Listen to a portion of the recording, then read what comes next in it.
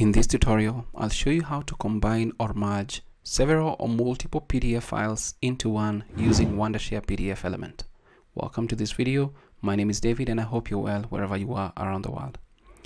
I'm inside the Wondershare PDFelement uh, dashboard or canvas and to combine your PDFs into a single PDF, you'll need to click on the quick tools option here for combine and I'll click on that and a new dialog box is going to open up.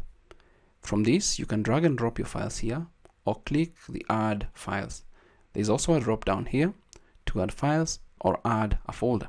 So on the right, you have the option to add a new table of content page generated from bookmarks that are available in the PDFs.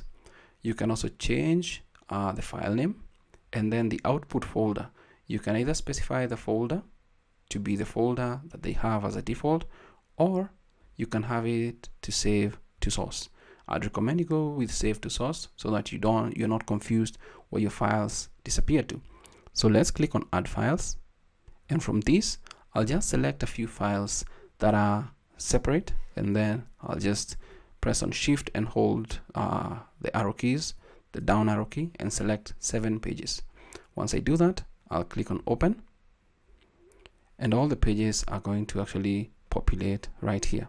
So this is page one one one one. So you'll see the number of pages available. You can also select the page range that uh, you want to set uh, if that's applicable. But since all we want to do is just combine these files then we can just add an extension here. Just merge or whatever.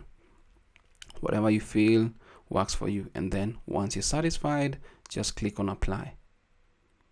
So that file has been merged into seven pages and then you can just scroll down to see what result you get from that merging of those seven files into one PDF file looks really good and that's how you can quickly and easily combine multiple files into a single PDF using Wondershare PDFelement. Thanks for watching this video. Until next time, stay safe and never stop learning.